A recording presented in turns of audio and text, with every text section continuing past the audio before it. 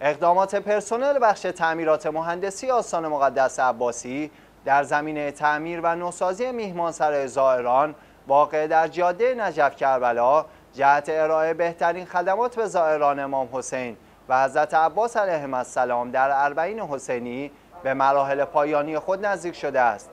سمیر عباس رئیس بخش تعمیرات مهندسی این آستان در این باره گفت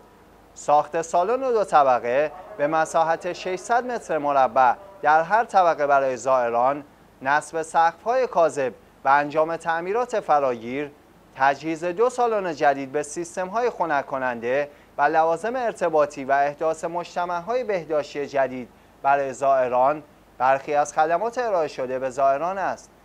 وی افزود اقدامات نوسازی نیز شامل افزودن سیستم‌های خنک کننده به سالن جدید و تعمیر یخچال ها می شود.